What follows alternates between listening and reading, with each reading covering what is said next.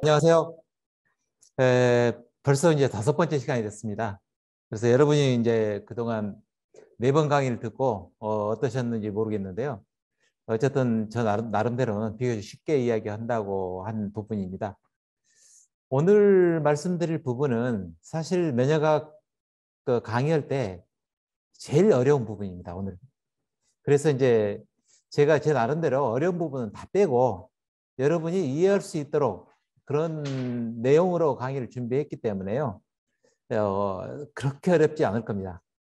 사실 이 부분이 굉장히 어려운데 에, 어려운 부분이 활성화가 어떻게 되느냐, 어떤 리셉터가 어떻게 작용하느냐 이런 부분들이 어려운 거거든요. 그런데 이제 그 부분을 다 뺐기 때문에 여러분께서 아주 쉽게 들으실 수 있을 거라 생각을 합니다. 그래서 오늘은 이제 그 인체 그 3차 방어선인데요. 예, 먼저 1차 방어선이라는 것은 물리화학적 방어선이고 1차 방어선에 관여하는 세포는 상피세포다. 이렇게 말씀을 드렸고요. 이것을 1차 방어선을 넘어선 이제 이 균이 있다면은 이제 2차 방어선에서 그걸 방어를 하는 거죠. 그럴 때 2차 방어선에 관여하는 세포는 이 phagocyte, 어, 식균 세포하고 NK셀이 주로 관여를 한다. 그래서 이런 NK셀이나 식균, 세, 식균 세포들은 내부에서 균이 들어오거나 내부에 문제 있는 세포가 나타나면은 그걸 언제든지 이걸 갖다가 제거할 수 있거든요. 그래서 이 세포가 만들어지면서부터 활성을 갖고 있어요. 그렇기 때문에 이것을 우리가 예, 선천 면역이다 이렇게 이야기하고 예, 외부에서 들어온 세균의 종류를 가리지 않고 또 내부에서 발생된 그 문제되는 세포의 종류를 가리지 않고 다 잡아 먹을 수가 있는 거죠 이게 NK 세포가 그래서 이런 것을 우리가 비특이적이다 이렇게 이야기를 하죠. 예, 이 2차 방어선까지도 뚫고 더 넘어오면은 이제 3차 방어선이 작동을 합니다. 이 3차 방어선은 이제 면역 세포로는 이제 임파구, 임파구 중에서 T세포하고 B세포가 관여를 하는 것이죠. 이 T세포와 B세포는 처음에 막 만들어졌을 때는 다시 말해서 항원에 한 번도 노출이 안 됐을 때는 이 세포 자체는 면역력이 없습니다. 그래서 이 자체가 전혀 면역 반응을 나타낼 수가 없죠. 그런데 이게 이제 항원에 노출이 되면 그때부터 면역을 갖기 시작하는 거예요. 그래서 이 T세포나 B세포가 면역력을 갖게 되는 그 활성세포로 바뀌는 과정, 그걸 우리가 활성화라고 이야기를 하죠. 그게 시간이 얼마나 걸리느냐 하면은 항원에 노출된 이후로 약 2주, 14일 정도가 걸립니다. 그래서 14일 정도가 걸려서 활성세포로 되면은 그때 면역력을 나타내는 거죠. 그래서 이것을 우리가 이제 획득 면역이다. 또는 그 후천적 면역이다. 후천적 면역이란 말은 무슨 말이냐면요. 항원에 노출이 되면은 그때부터 이 T세포나 B세포는 숫자가 굉장히 많이 늘어납니다. 얼마나 늘어나냐 하면 최소한도 10만 배, 100만 배, 이 정도로 늘어납니다. 늘어나가지고 그리고 그때 이제 면역 세포로서의 활성을 갖는 거죠. 기능을 갖, 갖는다는 것이죠. 그래서 새로운 이 B세포나 T세포가 처음 만들어졌을 때는 면역세포로서 기능이 없는데 이게 새로운 이제 면역세포로 바뀌기 때문에 그것을 우리가 획득 면역 또는 후천 면역이다. 이렇게 이야기를 하는 것이죠. 그래서 이 3차 방어선은 우리가 인위적으로 이 면역 바, 어, 반응을 갖다가 굉장히 증가시킬 수가 있고 면역력을 증가시킬 수 있죠. 그러나 2차 방어선은 우리가 인위적으로 할 수 없다는 것이 이제 차이점이 있습니다. 이 3차 방어선에 그래서 이 3차 방어선을 갖다 우리가 강화시키기 위해서 막 여러 가지 예방 주사를 맞고 그러죠. 그런데 이제 예방 주사를 맞았을 때 그 문제가 뭐냐면은 외부에서 들어오는 항원의 종류에 따라서 거기에 반응하는 T세포, B세포가 다 따로따로 존재한다는 것이죠.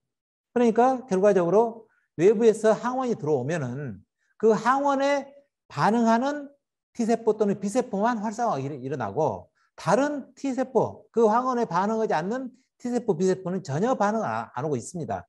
그렇기 때문에 이렇게 해서 만들어진 활성화된 T세포, B세포는 그 항원에만 작용한다는 것이죠. 다른 항원에 전혀 작용을 하지 않습니다. 그렇기 때문에 결과적으로 우리가 예를 들면은 콜레라 균이 들어왔다 하면은 콜레라에 반응하는 T세포, B세포가 활성화가 되는 거예요. 이 사람한테 다시 예를 들어서 장티푸스 균이 들어온다 하면은 전혀 반응을 못하고 다시 또 14일이 걸려야 반응을 하게 됩니다. 예를 들어서 또 코로나가 들어왔다. 그러면 코로나 균에 대해서 또 14일이 걸려야지 또 반응을 또 시작하는 겁니다. 그런 것처럼 우리 몸에 들어올 수 있는 항원이 각각 다 활성화를 따로따로 다 시켜야 된다는 이야기죠. 그래서 이제 그, 그, 그것을 우리가 특이적이라고 이야기하는데 그렇기 때문에 우리가 이제 예방주사를 여러 가지 맞는 거죠. 뭐 결핵 예방주사도 맞고 또 뭐 요즘에 코로나 예방주사도 맞고 감기 예방주사 맞고 뭐뭐 뭐 홍역 또는 무슨 뭐 다른 다른 거 요즘에는 이제 그 뭔가요 대상포진 이런 것도 다 예방주사를 따로따로 다 맞아야 되잖아요. 그 이유가 뭐냐면은 예방주사를 맞는 것은 이 3차 방어선에 메모리셀을 갖다가 만들어 놓기 위해서 그래요. 메모리셀을 만들어 놓으면은 처음에 메모리셀이 없을 때는 항원과 만났을 때 이 이 B세포나 T세포가 활성화가 되는데 걸리는 시간이 2주 걸리는데 메모리셀이 있으면은 이게 2, 3일이면 활성화가 돼버려요. 그래서 메모리셀을 만들자는 목적으로 예방주사를 맞는 겁니다.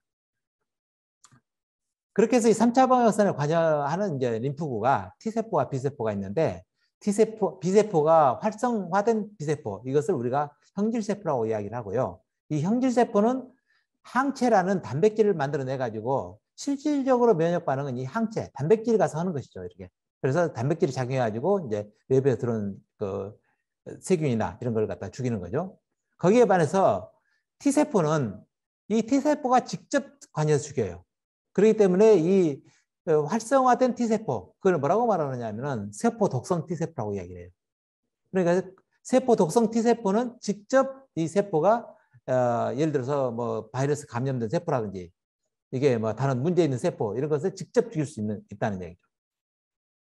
그래서 오늘은 이제 그 중에서 이 T세포를 중심으로 오늘 말씀을 드리겠습니다. 림프구의 종류는 우리가 세 가지가 있다고 이야기를 하죠. T세포가 있고 B세포, 그다음에 NK세포 이렇게 세 가지가 있는데요. 그 중에서 이제 T세포의 종류를 다시 세분해 보면 여기에도 세 가지가 있어요.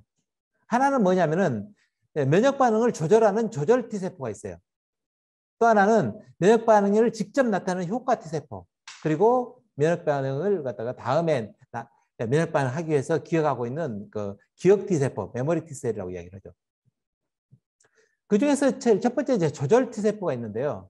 이 조절 T세포는 우리가 두 가지가 있죠. 항상 조절은 우리 인체 내에서 두 가지가 있습니다. 뭐냐면은 하나는 증가시키는 것이 있고요. 또 하나는 억제시키는 것이 있어요. 면역 반응이 제일 처음에 안 일어났을 때는 면역 반응을 일으키기 위해서 이걸 갖다가 증가시켜야 되겠잖아요. 그래서 그것을 우리가 이제 도움 T세포다, 헬퍼 T셀, 도움 T세포라고 이야기를 하죠. 그 다음에 이제 면역 반응이 이제 어느 정도에서 외부에서 들어온 물질을 다 제거했잖아요. 그럼 면역 반응이 더 이상 일어나, 일어나면 안 되죠. 그래서 그럴 때는 이제 면역 반응이 끝났으니까 그만 반응을 해라. 해서 그걸 억제시키는 것이 있어요. 이걸 우리가 이제 억제 T세포 또는 이걸 서프레서, 영어로는 서프레서 T세포라고 이야기를 하는데요. 이 조절 T세포라고 해서 두 가지가 있다 해서 이제 말을 하기가 이게 조금 그렇다는 거죠. 그래서 어떻게 지금 이야기를 하냐면은 이 도움 T세포, 헬퍼 T세포하고 이, 이 suppressor T세포를 갖다가 다른 말로 이것을 갖다가 요즘에는 그냥 이걸 조절 T세포라고 이야기를 해요. 레귤레이터리 T셀에서 조절 T세포다 이야기를 해서 조절 T세포 하면은 이 조절이 위의 조절이 아니라 이 아래 억제 T세포를 갖다가 조절 T세포라고 요즘에는 많이 부르고 있다는 이야기죠. 그래서 이 조절에 관여하는 것은 조절 T세포하고 helper T세포, 도움 T세포 이 두 가지가 있다. 이렇게 이야기를 하죠. 그 다음에 효과를 나타내는 것은 이제 세포 독성 T세포가 효과를 나타내는 것이고, 그 다음에 기억하는 것이 메모리 T세포가 그걸 담당을 하고 있다. 이렇게 해서 이제 세 가지 T세포 가 있습니다. T세포가 만들어지는 것, 만들어지는 것을 우리가 이제 T세포의 분화라고 이야기를 해요. B세포도 만들어지는 것. 그렇 B셀 리셉터를 가진 B세포가 만들어지는 것이 분화고 여기도 T cell을 분화라는 것이 뭐냐면은 T세포 수용체, 그게 T셀 리셉터인데요. 이 T셀 리셉터를 가진 세포로 분화, 만들어지는 과정까지를 우리가 T세포의 분화라고 이야기를 합니다. 이 분화는 어디에서 일어나느냐면요. 제일 처음에 이 림프구의 줄기세포, 원조 줄기세포가 이 골수에 있죠. 이 골수가 여기서는 지금 요 상완 뼈를 갖다 이렇게 그려놨는데 실제로 상완 뼈에는 골수가 거의 없고요. 예, 지난번에 말씀드린 대로 골수는 대개 어디가 있냐면은 척추뼈하고 이 요 뭐요 힙 요 골반뼈 여기에가 주로 골수가 많이 있습니다. 그래서 그런데 이제 여기는 편의상 이렇게 상완뼈로 그려놓은 것이죠. 그래서 어쨌든 이 골수에서 이, 이 T셀, 이 림프구에 에, 이 줄기세포가 T세포, 골수에서 시작, 만들어져 가지고 이게 이제 이 흉선, 사이머스라는 흉선으로 이동을 하게 됩니다. 그러면은 이 흉선에서 분화가 일어나는 거죠. 이게 분화가 일어난다는 것이 뭐냐면은 여기에서 림프구가 와가지고 여기에서 이 분화됐을 때는 이 흉선에서 분화가 되면은 T셀 리셉터, T세포 수용체를 갖게 만들어지는 거예요. 그래서 그 T세포 수용체를 갖게 만들어지는 과정까지 되는 거, 이게 우리가 분화라고 이야기를 하죠. 그렇게 해서 이제 분화가 끝나면은 이 T세포 수용체를 가진 이 T세포가 이제 2차 림프 조직, 이게 림프절이라든지 아니면 비장이라든지 아니면 뭐 장에 있는 그 림프 조직들 이런 데로 해서 다 이동을 해서 여기가 있는 거죠. 그래서 여기에서 뭘 하느냐 하면은 외부에서 항원이 들어오기를 기다리고 있는 거예요. 그래서 항원이 들어오면은 그때 이제 반응을 해가지고 이게 활성화가 되는 거죠. 활성화되는 데는 2주가 걸린다. 그런, 그런 이야기죠. 그래서 여기에서 지금 요 흉선에서 분화가 된다고 그랬는데 분화가 금방 말씀드린 것처럼 분화는 뭐냐 하면은 T세포 수용체가 만들어지는 과정이 있다는 얘기죠. 다시 말해서 여기 정구세포는 수용체가 아직 없어요. 어, 줄기세포에는. 그게 수용체를 갖는 T세포로 만들어지는 것을 우리가 T세포가 분화가 된다. 이렇게 이야기를 하는 거죠. 그 분화되는 과정을 다시 보면은 이 골수에는 이 헤마토포이스 스템셀이라는 것은 뭐냐면 우리 혈구세포 전체에 대한 줄기세포가 있어요. 그 다음에 이 혈구세포가 우리가 림, 림프 계열 줄기세포가 있고 적혈구 계열 줄기세포가 있어요. 그렇게 둘로 나눠져요. 그 중에서 이제 림프 계열 줄기세포가 이 골수에서 나와가지고 이게 혈액을 타고서 이 흉선으로 들어가죠. 그러면은 흉선에서 이게 제일 처음에 만들어진 것이 T세포, 정, T세포 정구세포라는 줄기세포예요, 이것도. 이 줄기세포가 만들어지는 거예요. 그러니까 여기서 이것도 줄기세포, 이것도 줄기세포, 이것도 줄기세포입니다. 줄기세포가 이제 예, 여러 개가 있는 거죠. 여러 단계를 거쳐서 여기까지를 줄기세포라고 이야기하는 거죠. 그렇게 된 다음에 여기에서부터 이제 요 수용체가 몇 가지, 이 T세포로서 기능을 나타내기 위해서는 꼭 필요한 수용체가 몇 가지가 있는데요. 그 중에 대표적인 수용체가 여기 세 가지예요. 그게 뭐냐면은 1번이 T세포 수용체. 그 다음에 2번이 CD4 또는 CD8. 그 다음 세 번째가 CD3예요. 이 세 가지가 있어야지만이 이게 T세포예요. T세포라 우리가 부를 수가 있거든요. 그래서 이제 이런 것이 만들어지는데 여기에서 쭉 이렇게 만들어져 와요. 이거 먼저 제 여기에서 보시면은 이 DN2 여기 레벨에서 이제 CD3가 만들어지고 그다음에 DN3 레벨부터 여기 시작해 가지고 이제 DN4에서 여기까지 오게 되면은 예, DN4가 되면 이제 T셀 리셉터가 이게 T cell 수용체가 다 만들어지죠. 그리고 여기 단계가 오게 되면 여기가 double positive라고 써져 있는데 이 double positive란 말이 무슨 말이냐면은 여기에는 CD4하고 CD8 두 개가 다 있다는 이야기예요. 두 개가 다 있는 세포가 됐다가 여기에서 다시 분화가 되면은 여기에 CD8 혹은 CD4 있는 요가 따로따로 있는 세포로 이렇게 나눠지는 거죠. 그러니까 T세포에는 T세포에 가서 CD4가 있는 T세포가 있고 CD8이 있는 포세포, T세포가 있어요. T셀 리셉터는 똑같이 있고 CD3도 똑같이 있고 근데 CD8이 있는 것이 있고 CD4가 있는 것이 있다는 이야기죠. 그렇게 해서 이제 CD4, CD8까지 만들어지면 이제 분화가 끝난 거예요. 이렇게. 분화가 끝났으면은 이게 다시 혈액을 타고서 2차 림프 조직으로 와서 이제 림프 조직에서 이것들이 기다리고 있죠. 그래서 아직까지 이런 이, 이렇게 만들어진 이 T세포는 아직까지 한 번도 항원에 노출이 안 됐잖아요. 노출이 안 됐기 때문에 그 상태로서 지금 림, 2차 림프기관에서 외부에서 항원이 들어오기를 기다리고 있는 거죠. 이렇게 기다리고 있는 이 T세포나 B세포, 어, T세포의 종류가 몇 가지냐면 T세포 종류를 따질, 따질 때 뭘 가지고 따지냐면은 여기가 T셀 리셉터라는 걸 가지고 따져요. 그런데 이 T셀 리셉터라는 게 외부에서 들어온 항원과 결합할 부분이거든요. 여기가. 그러니까 외부에서 들어온 항원의 가지수가 몇 가지냐. 이렇게 따졌을 때 B셀하고 똑같죠. 한 100만 가지 정도 된다는 이야기죠.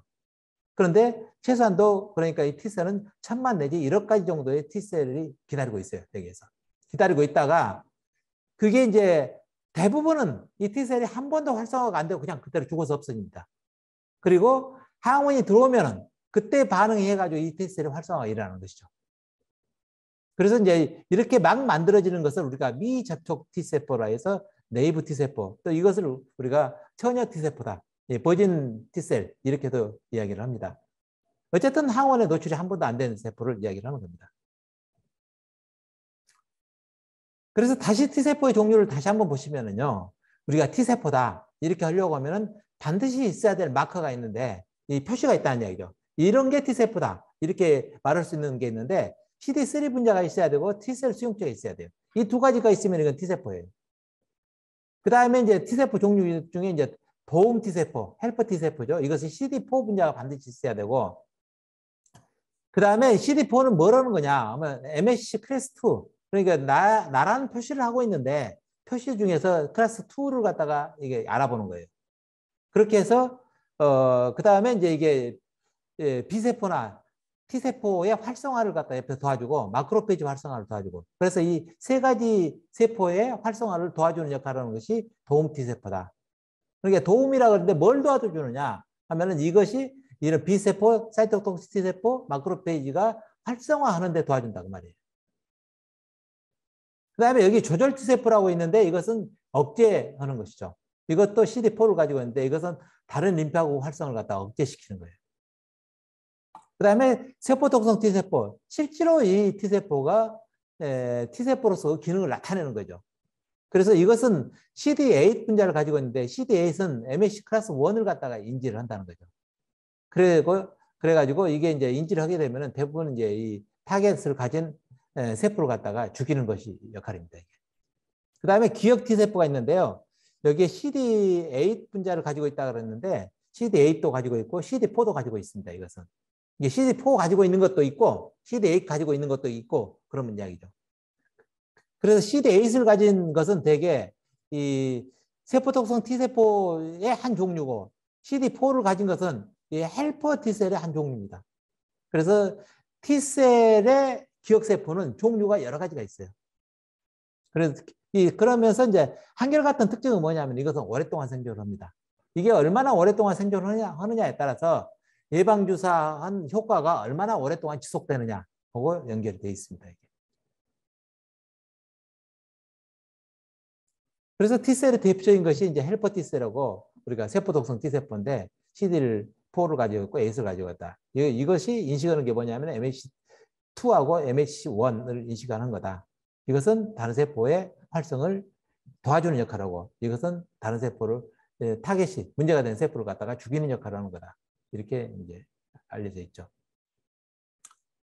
어, 여기에서 이제 외부에서 항원이 들어오잖아요. 외부에서 예를 들어 세균이 들어온다. 외부에서 뭐 어떤 물질이 들어왔다. 이렇게 했을 때 이것을 갖다가 인식하는 알아, 알아봐야 되잖아요. 제일 처음에. 가장 먼저 하는 게 이것을 알아봐야 돼요. 알아볼 때 B 림프구하고 T 림프구가 알아보는데 근본적인 차이가 있어요. 뭐냐면은 림프구는 외부에서 들어오는 항원이 항원만 와도 그걸 알아봐요. 알아보고 여기에 반응을 하죠. 반응을 해가지고 여기에 이제 항체를 만들어서 밖으로 분비를 하게 된다는 얘기죠. 거기에 반해서 T 림프구는 항원 혼자 온 것은 절대 못 알아봐요. 못 알아보고 항원을 누가 반드시 데리고 와야 돼요. 그 데리고 온 게 우리 편이 데리고 와야 되죠. 우리 편이라는 게 뭐냐면은 이 MSC가 맞는 것을 MSC 1 또는 2에다가 이걸 항원을 갖다가 붙여가지고 와야지만이 이게 알아. T셀 리셉터가 이걸 알아본다는 이야기죠. 그러니까 결과적으로 무슨 말이냐면은 다른 사람의 MSC를 갖다가 집어넣어주면은 이거 못 알아봐요. 그러니까 어, 떻게 보면은 이 사회 조직으로 따졌을 때 우리가 누가 요, 뭐 예를 들어 간첩이다 잡아왔다 하는데 이게 간첩인지 아닌지를 데려온 사람이 누구냐에 따라서 데려온 사람이 확실히 우리 편이면은 간첩이다 믿고 사람이 우리 편이 아니면 안 믿어요 그것을 그런 것처럼 이 T세포는 확실하게 우리 편이 데려와야지만이 그걸 인식한다는 얘기예요. 그래서 아주 근본적인 차이가 있어요. 그래서 T세포를 활성화시키는 데는 반드시 항원을 데리고 오는 세포 이게 반드시 필요해요. 그것이 우리가 이제 항원 제시 세포다 이렇게 이야기를 하죠. 이건 주로 이제 덴드라이트 셀이나 마크로페이지가 역할을 하는 것이죠. 그래서 이렇게 마크로페이지가 데리고, 데리고 온 항원만 인식하는 것이 T세포의 예, 큰 차이점이죠. B세포와 차이점. 그럴 때 인식을 할 때 이제 T세포와 인식을 누가 하느냐면 T세포고 T 그 도움 T세포하고 사이트 세포 독성 T세포가 이걸 인식을 해요. 그런데 이 도움 T세포나 세포 독성 T세포가 아직 한 번도 그 항원에 노출이 안 됐을 때 그러니까 처음 노출될 때는 이걸 누가 가지고 오느냐 하면은 전부 똑같이 T helper T세포나 사이토톡스 T세포나 전부 다 항원 제시세포가 이걸 가지고 와요.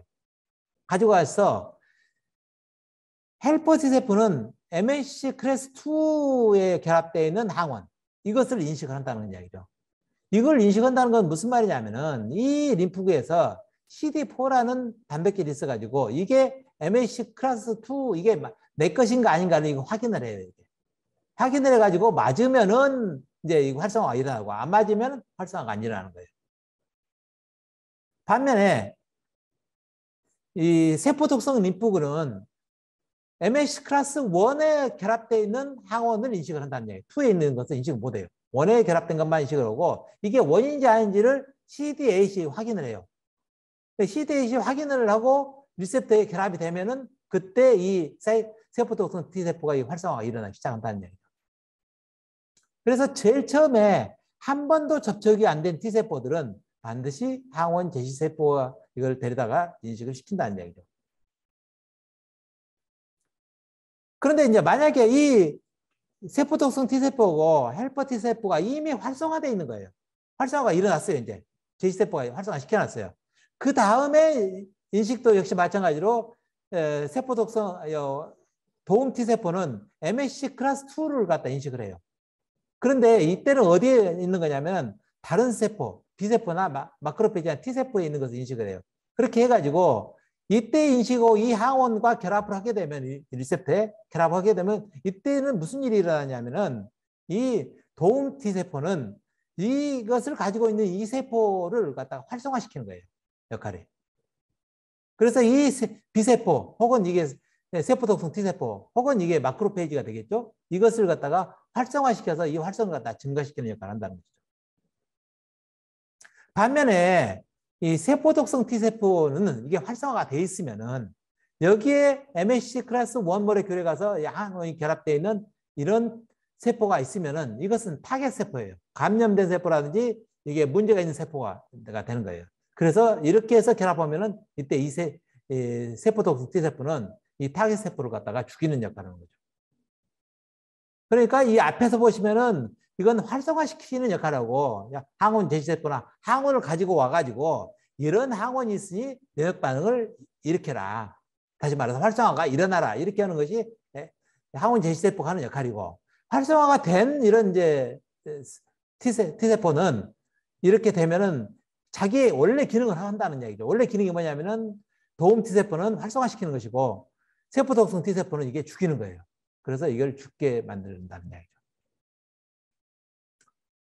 어, 금방 그 앞에서 보시면 CD라는 그 CD4, CDH니, CD3니 뭐 여러 가지 CD라는 그 어, 물질들이 굉장히 있는데 이 CD라는 게 뭐냐는 거예요. CD라는 게 우리나라 말로 표현을 하면은 세포 표면 항원 물이다. 그래서 영어로는 이게 cluster of differentiation. 그래서 이제 cluster of differentiation에서 약자로 CD예요. 이게. CD인데 이 CD라는 게 이제 단백질이에요. 세포 막에 있는 막단백질이죠. 근데 이 막단백질 중에서 어떤 막단백질이냐면은 백혈구의 분화에 관여하는 세포 표면 단백질을 우리가 CD라고 이름을 붙여가지고 거기에 시리얼 넘버를 붙인 거예요. 왜 이렇게 했느냐 하면은 백혈구의 분화에 관여하는 단백질이 굉장히 많은데 이걸 각각 다른 이름으로 부르니까 굉장히 복잡해요. 그래서 1982년도에 사람 백혈구 분화 항원 이것을 LH, H, HLDA라고 이야기를 하는데 Human Leukocyte differentiation antigen에서 HLDA라고 이야기를 해요. 이 HLDA에 관한 국제 international 그 워크샵이 있었어요. 학, 학술대회가 있었는데 이 학술대회에서 이렇게 이름을 각각 다 부르니까 복잡하니까 앞으로 우리가 이것을 CD라는 이름을 해서 통일해서 쉽게 좀 써보도록 하자 해서 회의에서 결정을 했어요. 그동안은 이 이름들이 각자 다양했는데 이것을 우리가 이제 회의에서 결정해가지고 여기에 넘버를 붙이는 걸로 이렇게 CD. CD가 뭐냐면은 백혈구 분화에 관련된 세포 막단백질을 우리가 다 CD라고 해서 이름을 붙여놓은 것들이죠. 그래서 이 CD를 어디에 써먹느냐 하면 물론 이제 공부하는 사람들은 이제 CD가 굉장히 중요하죠. 그런데 이제 보통은 이걸 어디에 쓰느냐 하면은 이게 어떤 그 표시 인자로서 써먹어요. 세포막에 특정하게 이게 있으면 이게 무슨 예, 백혈구 중에서 이게 무슨 세포다 무슨 세포다 그런 표시하는 것들로 주로 많이 쓰고 있다는 얘기죠. 예를 들어서 줄기세포다 하면은 CD34가 있어야 줄기세포예요. 그 다음에 이제 백혈구에는 CD45가 있으면 백혈구가 되고 과립구, 뭐 단핵구, 림프구, 림프구가 있으면 CD3가 굉장히 중요하다는 거예요. CD3가 있으면 림프구예요. 근데 CD3가 있으면 림프구인데 여기 자연사례세포 같은 경우는 CD3가 없어요. 그래서 림프구 중에서 좀 정통 림, 예, T, T 림프구가 좀 다르죠, 이게. 그래서 T 림프구하고 성질은 거의 비슷하죠. 거의 같은 일을 해요. 하는 일도. 그런데 다르죠. 이렇게 CD3라는 게 여기는 있고 여기는 없다는 얘기죠. 그래서 그 이제 헬퍼, 조력 T세포는 CD4가 있고 regulator suppressor CD4가 있고 세포 독성 T세포는 CD8이 있고 이제 이런 식이죠. 그래서 이 CD라는 게 뭐냐 하면은 세, 백혈구의 분화에 관련되어 있는 세포 막단백질을 우리가 알기 쉽게 serial number를 붙여서 만들어 놓은 것이 CD라는 건데 이것들이 각각 다 단백, 막단백질이죠. 세포 있는 단백질이다. 그럴 때 어떻게 표현을 하느냐 하면 CD 여기 하면 플러스가 있고 여기 C 마이너스가 있잖아요. 이 마이너스는 뭐냐면은 발현이 안 된다. 세포 막에 저런 것이 없다. 그런 뜻이에요. 저 단백질이. 그리고 플러스로 표시하는 것은 저런 단백질이 있다. 하는 것을 표시하는 거죠. 그래서 세포막에 어, 이런 그 단백질이 발현이 되면은 플러스 안 되면은 마이너스로 표시를 해요. 그리고 이제 이 발현이 되고 안 되고 플러스 마이너스 표시하는데 또 발현되는 양이 우리가 비교하는 standard와 비교해서 많이 된가 비슷한가 더 적게 되는가에 따라서 또 이름을 또 나눠요. 많이 되면 high, 적, 비슷하면 mid, 더 적게 되면 low라고 표시를 해요. 또 이걸 또 다른 말로는 bright. 요 우리가 이걸 갖다가 이제 다음에 FACS dot라는 걸 찍어서 이렇게 사진을 찍거든요. 그럴 때 많이 있으면 더 밝게 나와요. 없으면 어둡게 나오죠. 그래서 bright가 high하고 똑같은 개념으로 이 bright라고도 표시하고 mid 이거는 같다는 이야기고 dim 이것은 어둡다는 이야기예요. 그러니까 low라는 거하고 같, 은 의미로 쓰이고 있죠. 그래서 이런 그 글씨로 써, 써져 있는데 이런 것들이 뭐냐 하면은 세포막에 그러니까 high 하면은 세포막에 저 단백질이 상당히 많이 있다는 이야기고 low 하면은 몇 개 없다, 적게 있다는 이야기예요. 단백질 수에 따라서 이게 많으면은 하이로 표현이 되고 적으면 로우로 표현이 됩니다. 그래서 이제 그런 식으로 이렇게 다 표현이 되어 있는 것들이죠.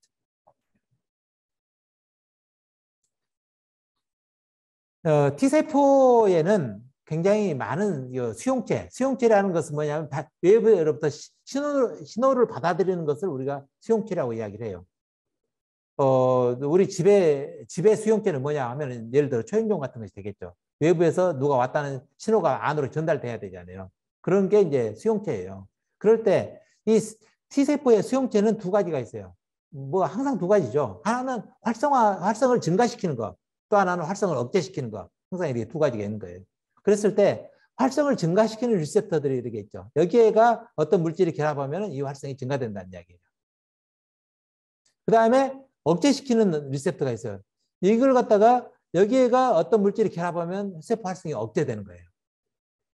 그래서 이제 이걸 우리가 인위적으로 조절할 수도 있어요.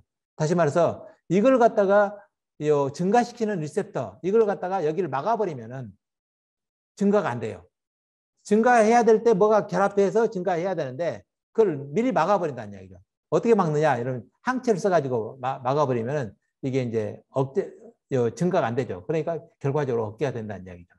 그래서 그런 걸 우리가 이제 인위적으로 여기 항체를 만들어 가지고 주사해 가지고 인위적으로 그걸 다 조절할 수도 있는 거죠.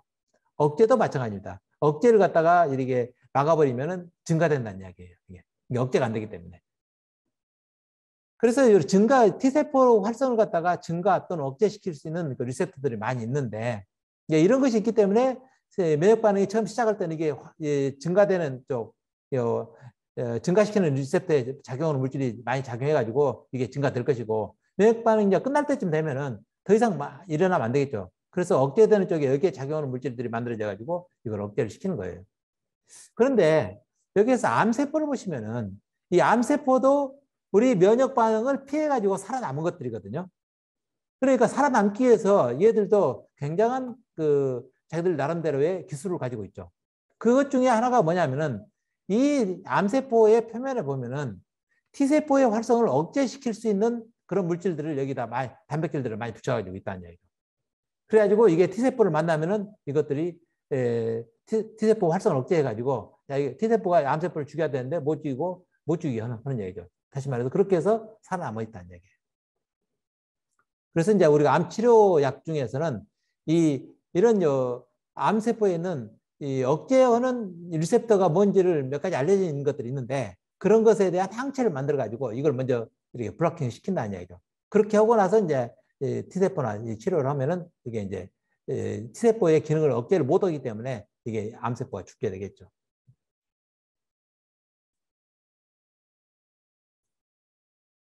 어, 그렇게 해서 이제 우리가 림프구가 외부에서 어, T 림프구는 어, 흉선, 흉선에서 어, 활성화가 되고 이제 2차 림프 기관에서 예, 들어와 있죠.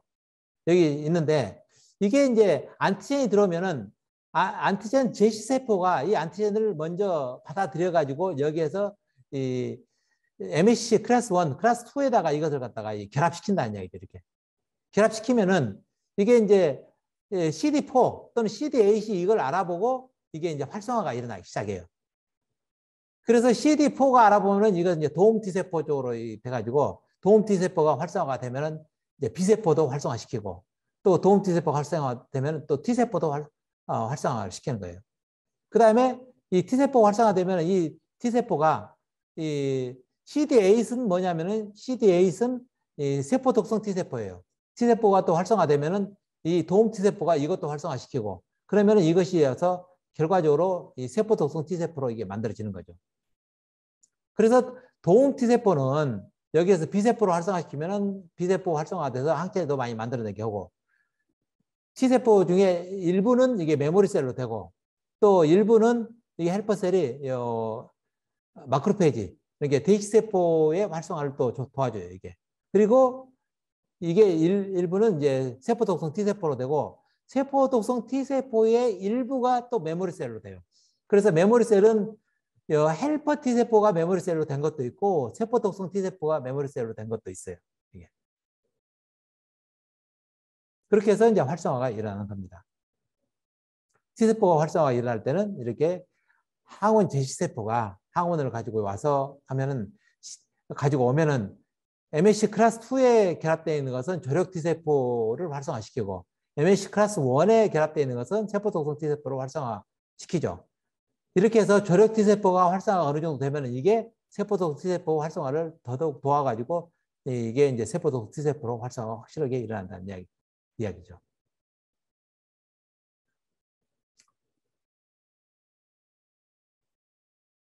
이렇게 해서 이제 조력 T세포, 세포 독성 어, 어, 조력 helper T세포가 활성화가 되면은 이 helper T세포는 B세포로 활성화를 증가시키고 또 macrophage 활성화를 증가시키고 또 사이토톡스 T세포의 활성화를 증가시켜 가지고 어, 이 다시 말해서 이 조력 T세포는 이 세 가지를 다 활성화시킬 수 있기 때문에 조력 T세포의 작용이 굉장히 중요하다는 이야기죠. 우리가 그, 그 질병 중에 에이즈, 이게 후천성 면역 결핍증이라는 에이즈 질환이 있는데 이 에이즈를 일으키는 바이러스, 바이러스가 있어요. 그게 에이즈 바이러스인데 이 에이즈 바이러스가 어, 떤 세포를 공격하느냐 하면 에이즈 바이러스가 세포 안으로 들어올려, 들어갈 때 이 CD4에 결합해서 들어가요. 이 CD4가 에이즈 바이러스의 어떻게 보면은 수용체 역할을 한다는 이야기죠. 그러니까 결과적으로 에이즈 바이러스는 CD4를 가진 세포에만 들어가는 거예요. 다른 세포는 안 들어가고. 그래서 에이즈 바이러스가 CD4에 들어가 에, 있는 세포에 들어가면 결과적으로 helper T 세포가 다 죽는 거죠. 여기 이 세포의 기능이 없어지게 하는 거예요. 그러니까 헬퍼 T 세포가 없으면은 이런 T세포나 B세포 활성을 못 하기 때문에 결과적으로 처음에는 괜찮지만 이게 시간이 점점점 지나면은 점점 점점 T세포, B세포 마크로페지 활성이 점점점 활성을 못 하게 되죠. 활성화가 안 되기 때문에. 그렇게 해서 결과적으로 이제 다음에 외부에서 항원이 들어오면은 거기에 대해서 이게 반응을 못 하게 되죠. 그, 그래서 그것을 우리가 이제 후천성 면역 결핍증이다. 해서 우리가 에이즈라고 이야기를 하죠. 근데 에이즈 바이러스 타겟이 CD4라는 이, 예, 헬퍼 T셀의 이 타겟, 세포 막에 있는 단백질이 이 타겟이에요. 그래서 그 타겟을 가진 세포에만 들어가서 이 헬퍼 T셀만 선택적으로 죽이기 때문에 사이토톡스 T셀에는 아무런 영향이 없어요. 영향이 없지만은 면역 반응을 전혀 못 하게 되는 것이죠. 그 다음에 세포독성 T세포. 세포독성 T세포는 이제 요 antigen presenting cell, 다시 말해서 항원 제시세포가 항원을 가지고 오게 되면은 그때 이제 이 네, naive T세포, 그러니까 한 번도 노출 안 된 T세포는 이때 이 활성화가 돼가지고 활성화 되면은 그때 이제 다시 이 MHC class 1에 결합되어 있는 항원과 이게 결합이 되면은 그 세포를 갖다가 죽이게 된다는 이야기죠. 죽, 이 죽이기 때문에 이걸 갖다가 우리가 killer cell이다, 살해세포다 이야기를 하죠. 그리고 또 다른 말로는 이거 세포 독성 T세포다 이렇게도 이야기를 합니다. 그럴 때 죽일 때 어떻게 죽이느냐 하면은 이 세포를 갖다가 녹이는 효소를 갖다가 분비를 해요. 또는 이 세포의 독성을 나타낼 수 있는 사이토카인을 분비를 해요. 그렇게 해서 이 세포를 죽이는 겁니다. 그래서 세포 독성 T세포의 타겟은 주로 어떤 세포냐 하면은 바이러스에 감염된 세포하고 그 다음에 이게 튜머셀, 암세포가 주, 주요 타겟입니다. 어, 음. 이 세포독성 T세포가 항원을 인식할 때 이 MHC가 굉장히 이제 중요하다는 이야기죠. 그랬을 때 이 세포독성 T세포가 이 MHC class 1에 가서 항원이 결합돼 있어요. 그래서 그 항원에 맞는 어, 항원에 맞는 이 세포독성 T세포가 있으면은 이게 결합하게 되면은 이 타겟 세포를 갖다가 죽입니다. 죽일 수가 있죠. 그런데 만약에 이 타겟 세포에 가서 이 항원이 달라요. 항원이 다르면은 이건 전혀 죽일 수가 없죠. 그래서 이것을 우리가 특이적 반응을 한다. 이렇게 이야기를 한다는 것이죠. 그러니까 항원이 다르면은 이걸 반응하지 않는다는 이야기죠. 그래서 못 죽이고. 그 다음에 항원은 같더라도 이 MHC가 다르면 못 죽여요. MHC가 다르다는 이야기는 무슨 말이냐면 내 것이 아닌 거죠. 그러니까 예, 세포 독성 T세포, 어떤 암세, 암을 치료할 수 있는 세포 독성 T세포가 내 몸속에 있는데 똑같은 암에 걸린 다른 사람한테 그 T세포를 넣어줘봐야 아무런 작용을 할 수가 없어요. 왜냐하면 MHC가 다르니까 작용을 못 하는 거죠. 그래서 반드시 내 것에만 작용을 한다는 거죠. 그래서 M, 이 T세포가 항원을 알아볼 때는 MHC를 알아보고 항원을 알아보고 두 가지가 다 내 것이어야지만이 작용을 할 수 있다는 것이죠. 세포독성 T세포가 타겟세포에 작용을 할 때는 예, 금방 말씀드린 것처럼 MHC를 알아보고 거기에 또 결합되어 있는 항원을 또 알아보고 이 두 개가 맞으면 이제 결합해서 이제 반응을 일으키죠. 반응을 일으킬 때는 이 안에서 단백질을 분비해 가지고 어, 이걸 세포를 죽여요. 근데 그 단백질 중에는 이 세포를 갖다가 녹이는 예, 단백질 분해 효소인 것도 있고 또 사이토카인 종류를 많이 분비하는 것도 있어요. 그런, 그런가 하면은 또 세 번째로는 이, 이, 세포에는 항상 그 death signal이라 해서 어, 이 세포를 죽게 만드는 시그널을 갖다가 받을 수 있는 이 단백질이 항상 있어요. 그 단백질을 자극을 해가지고 죽일 수도 있다는 얘기죠. 그렇게 해서 이런 식으로 해서 이 세, 세포를 다시 말해서 이게 암세포다. 그러면 암세포를 갖다가 죽일 때 암세포에 적정한 항원이 여기에 표시되어 있으면은 이 T세포가 그 항원을 알아보고 여기에 반응해가지고 이 암세포를 죽이는데 어떻게 죽이느냐. 이게 반응이 일어나면은 여기에서 포포린이라는 이 단백질이 이 구멍을 뚫어버려요. 예, 세포막에. 그 다음에 여기 사이토카인이 나와서 이 사이토, 어, 그랜자인 B라는 게 있어가지고 그것도 이제 이 세포막을 녹여요. 이것은. 그 다음에 패스리간드라 해서 여기에 결합되면 이게 안으로 들어가면 이 세포가 스스로 자연사하게 한다는 얘기죠. 그래서 이런 방법으로 해서 이 세포 독성 T세포와 이 세포 독성 작용을 나타내게 하고 있는 것이죠. 그 다음에 이제 암 쪽에 보면은 굉장히 중요한 세포 중에 하나가 억제 T세포예요. suppress T세포인데 이것을 아까 말씀드린 것처럼 우리가 레귤레이터리 T셀이라고도 이야기를 한다는 얘기죠. 그래서 TREG 세포 이렇게 하면 T regulatory 세포 이것은 억제 T세포를 말한다는 이야기죠. 이것이 어떤 역할을 하느냐면은 세포 독성 T세포의 증식이나 분할을 억제해요. 이게 무슨 말이냐면은 이미 이제 면역 반응이 다 끝났으니까 그만해라는 이야기죠. 그만해라. 이렇게 해서 T세포 이제 증식도 그만하고 분화도 그만해라 하고 하는 거고 그 다음에 자기 항원에 대해서 면역 관용을, 관용을 유지한다는 얘기죠. 자가 항원. 다시 말해서 내 세포에 정상적으로 있는 물질에 대해서는 면역 반응이 안 일어나게 하는 거예요. 그 다음에 이제 그렇기 때문에 이제 자가 면역 질환을 갖다가 예방할 수 있다. 이렇게 이야기를 하죠. 그 T세포가 어떻게 해서 그런 면역 반응을 억제시키느냐 하면은 여기에 보시면은 이제 세 가지 기능을 이야기를 하거든요. 제일 첫째는 뭐냐 하면은 항원 제시세포 이제 되게 macrophage잖아요.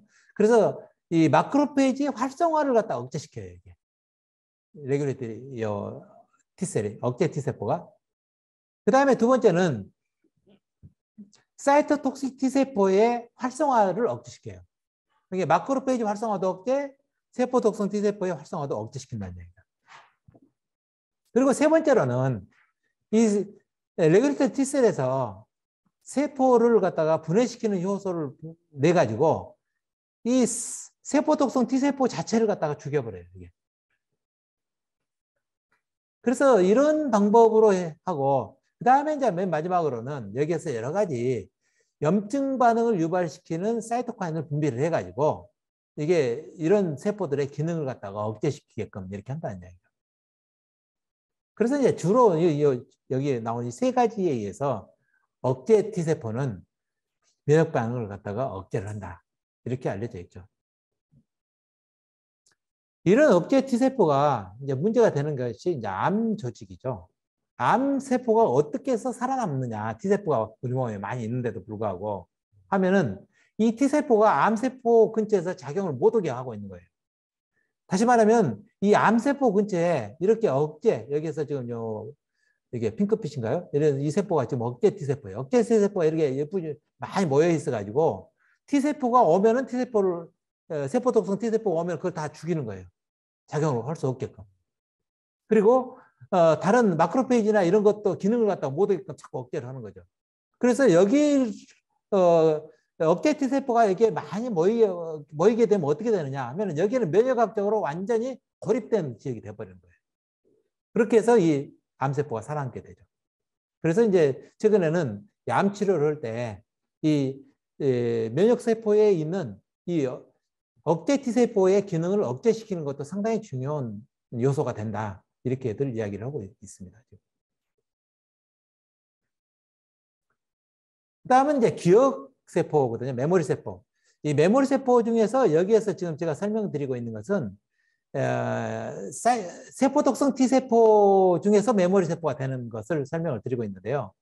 이제 이게 뭐 100% 맞다 이렇게는 볼 수 없지만 현재는 이렇게 생각들을 하고 있어요. 같은 세포 독성 T세포인데 어떤 세포독성 T세포는 굉장히 오랫동안 살아있고 어떤 세포독성 T세포는 빨리 죽어버려요. 그런데 어떤 세포독성 T세포가 빨리 죽느냐 하면은 세포독성 T세포도 우리가 자세히 보니까 활성이 대단히 강한 것이 있고 활성이 아주 약한 것이 있어요. 그래서 이 활성이 약한 것은 오래 사, 오랫동안 살아남더라는 이야기예요. 그리고 이 활성이 약한 것은 다음에 한 번 더 항원에 노출이 되면은 이것들이 굉장히 활성이 강한 세포 독성 T세포로 바뀌더라는 이야기죠. 그렇게 봤을 때 이 반응이 약한 이 세포 독성 T세포는 memory T세포다. 우리가 이렇게 생각을 하고 있는 거죠. 그래서 이 memory T세포는 그 원조로 가서 보면은 naive T세포가 됐을 때 naive T세포 자체가 완전히 활성화가 좀 덜 끝난 그런 상태였을 것이다. 이렇게 생각을 해요. 여기에서 보시면은 이 세포 독성 T세포 이것은 수명이 그렇게 길지 않습니다. 길어봐야 일주일 안 넘겨요. 일주일 정도 되면은 다 죽어서 없어지죠. 다시 말해서 면역 반응이 만들어져 가지고 자기가 일주일 이내에 다 끝난다는 이야기입니다. 그리고 이제 이렇게 만들어진 걸 새로 또 만들어질 수가 있죠. 이, 예, 이펙트 T세포가. 여기까지 하면 T세포 설명을 다 끝낸 겁니다. 그래서 제가 그 면역학 하면은 이 에, 처음부터 시작해서 여기 T세포 1차, 2차, 3차 방에서 T세포 여기까지 하면 면역학에 대해서 에, 면역 세포들에 대한 설명은 다 끝낸 것입니다. 그리고 지금 여기서 이제 조금 더 말씀드릴 부분은 이게 이제 요즘에 그 면역 항암 치료 중에서 굉장히 각광을 받고 있는 이제 카트셀에 대해서 좀 말씀을 드리려고 하는데요. 이 CAR-T, CAR-T라는 게 뭘 말하느냐면은 chimeric antigen receptor. 이게 이제 CAR라는 약자로 이제 CAR을 해서 CAR죠. 이게. 그리고 이제 이게 뭐, 어, 세포가 기본적으로 무슨 세포냐면 T세포예요. 그래서 CAR를 가진 T세포다 해서 CAR-T세포라고 이야기를 합니다.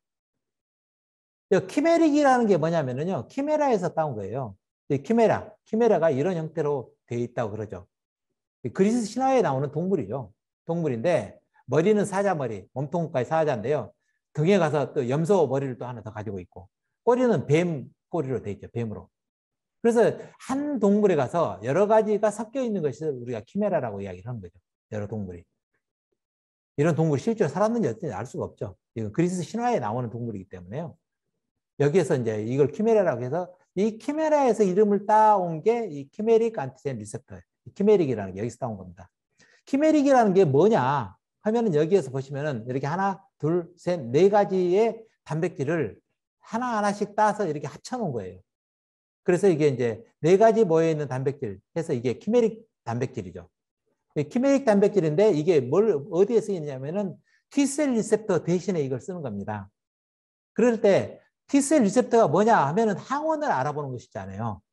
그런데 이 암세포에 대한 항원을 알아보는 T세포가 이제 우리가 T세포를 우리가 만들어 그 골라내 가지고 그걸 활성화시키면 대단히 좋겠지만은 실제로 암세포에 맞는 T세포, 리셉터를 가진 T세포를 골라내는 것은 거의 불가능합니다. 왜냐하면은 우리 몸에 제가 자주 말씀드립니다만은 최소한도 천, 천만 개에서 1억 개 정도, 1억 가지 정도의 T세포가 있는데 그 중에서 이 안티젠과 맞는 T세포를 찾아낸다는 게 한강에서 한강 모래밭에서 바늘 찾기보다 훨씬 더 어렵습니다. 그, 그건 거의 불가능하기 때문에요. 그걸 할 수가 없어요.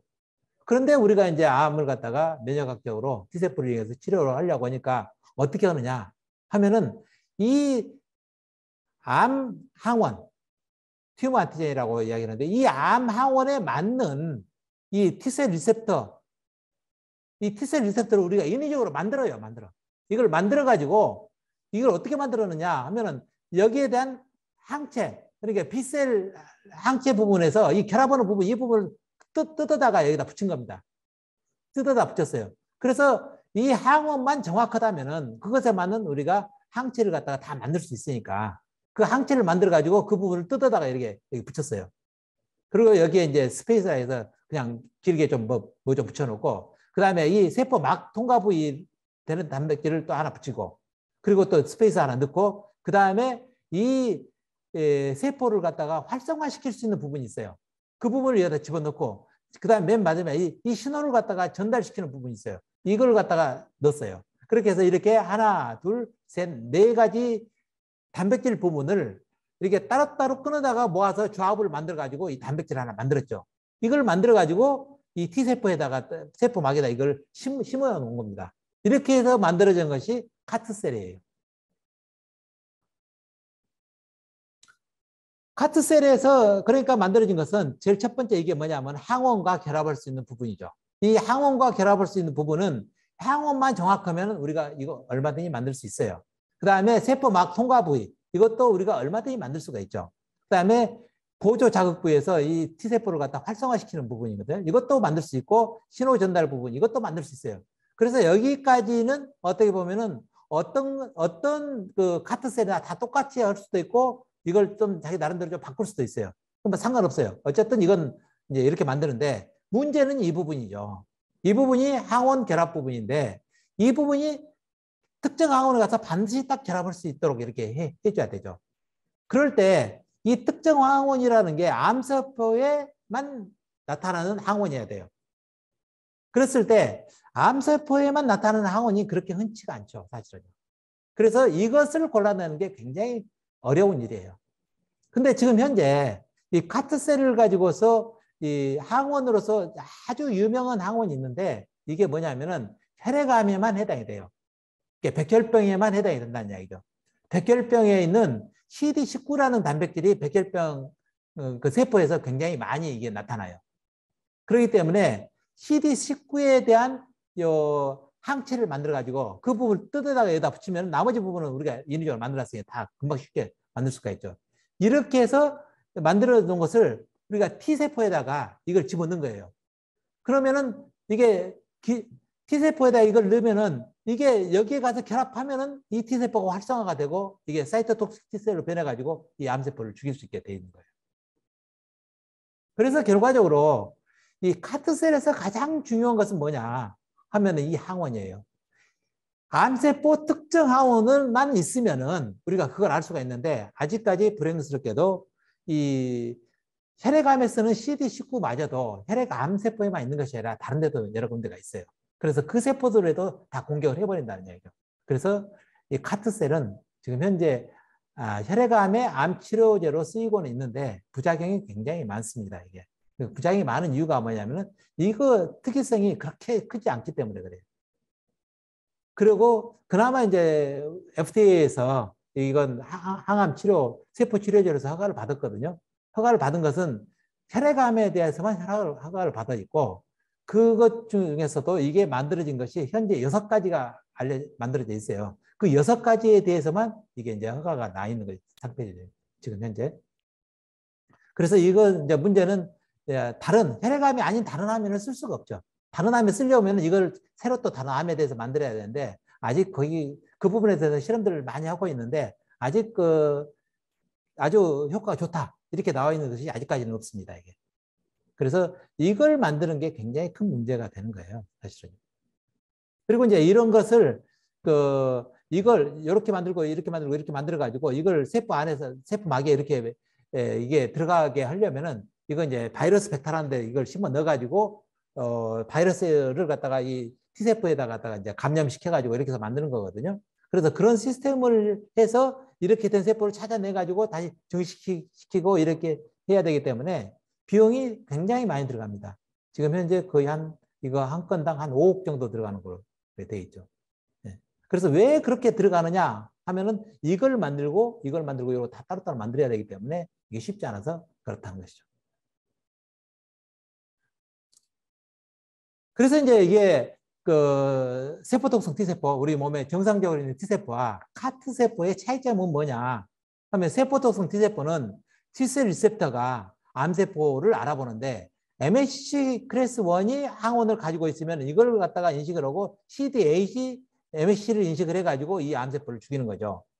근데 CAR-T 세포는 MHC가 없어도 돼요. 이거 상관없죠. 이것이, 이, 게 어렵기 때문에 인위적으로 CD19라는 여기에 대한 항, 여, 리셉터를 갖다 인위적으로 만들어서 하나 끼워 넣는 거예요. 카라는 것을 만들어서 끼워 넣었죠. 그러니까 이렇게 결합만 하면은 이 세포를 갖다 죽일 수 있는 겁니다, 이게. 그러니까 결과적으로 이 CD19에 가서 아주 이게 CD19에만 딱딱 결합을 해줘야 되겠죠. 그 CD19 말고 다른 데서 결합하면 다른 세포 다 죽이는 거죠, 무조건. 결합만 하면 죽일 수 있으니까.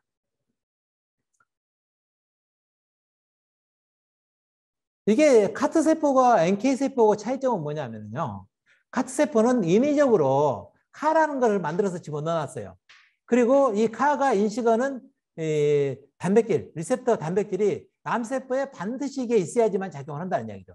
그런데 이제 이게 CD19는 혈액암 세포에만 지금 있는 것이고 이것만 공인을 받아져 있는 것이고 데는 아직 이게 잘 안 돼 있기 때문에 다른 세포에 현재 적용은 쉽지가 않다는 얘기입니다. 다른 암에는. 거기에 반해서 NK 세포는 내, 암, 내, 내 몸에 있는 세포 중에서 MHC1이 잘못되어 있으면 그 세포를 무조건 죽이는 겁니다. 그러니까 이게 어떤 암세포인지 가리질 않아요. 그래서, 그래서 MHC1만 미싱되어 있으면 내 거 세포라면 다 죽일 수 있기 때문에 이것은 암세포의 종류에 상관없이 어떤 아, 암이나 다 적용할 수 있어서 그게 가장 큰 장점이 되, 되죠. 그래서 이 카트 세포는 카트 세포는 지금 현재 혈액암에만 적용할 수 있고 이것은 NK 세포는 어느 암이나 다 적용해 볼 수가 있다는 그런 차이점이 있습니다. 어, 금방 말씀드린 것처럼 이 CAR-T 세포의 에, 를 만드는데 굉장히 큰 문제점이 있는데요. 그게 이제 어떤 거냐면 가장 가장 문제가 되는 것이 specific target을 찾아내는 겁니다. 이거. 그러니까 우리가 보통 암세포에 특정한 어, 단백질이 이렇게 있다고 이야기를 하는데 그 단백질이 자세히 조사해 보면은 다른 데 세포들에도 많이 있어요. 그냥. 그러면은 그 세포들도 다 공격이 대상이 되기 때문에 그걸 찾아내기가 이게 굉장히 만만치가 않다는 이야기죠. 그래서 이거 어, 안티젠의 이질성 이것을 갖다 골라내는 것이 굉장히 어렵다. 그 다음에 두 번째로는 이제 암세포가 되면은 아까도 말했다시피 예, 면역세포의 기능을 갖다가 억제시키는 여러 가지 물질을 분비해가지고 이 세포의 기능을 못 오게 하는 그런 기능도 갖고 있기 때문에 카트셀의 치료는 이 두 가지를 극복하는 방법을 여러 가지로 지금 연구들을 많이 하고 있죠. 네, 오늘 여기까지 하도록 하겠습니다. 좀 어려우셨을 것 같은데요. 그래도 여기까지가 이제 면역 세포는 다 끝난 거고요. 다음에는 면역 반응들 가지고서 다음 세시간 이야기를 드리도록 하겠습니다. 네, 감사합니다. Personalized Immune Care Platform. NKCL.